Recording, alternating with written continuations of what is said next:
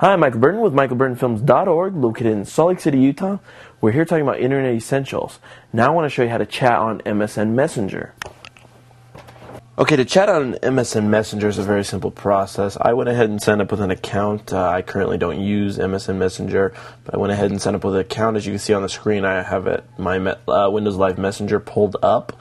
Um, I went ahead and used my uh, alternate email address, which is mbgoms at yahoo.com, which I'm going to use to uh, to demonstrate how you're supposed to instant message.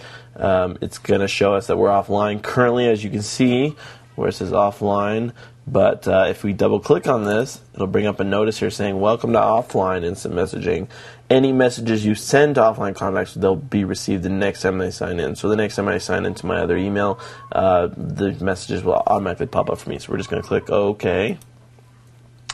Now let me drag this to the center. Okay, this is our instant messenger or, or our MSN messenger screen. Um, you can see down here at the bottom, underneath these uh, smiley faces, this is where our text will go. So if we wanted to say hi, you know, my name is Michael, and I wanted to send this to myself or to another person, depending on who I've chosen to, to instant chat with. Uh, we come down here to where it says send, and we click send.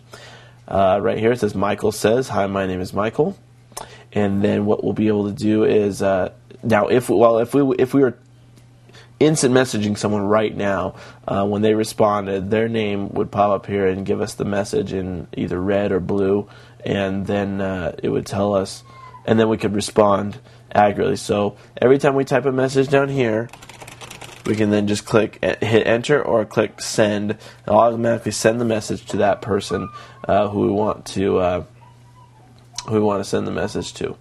There, you can also invite friends. Uh, you can invite other people to join current conversations that you're currently in. We just can't do that right now because we're not currently in a conversation with someone. I just want to demonstrate that to you. But there are ways uh, you can um, actually um, invite another friend as you're speaking with someone else to join the conversation, and then to, you guys just can all three talk together.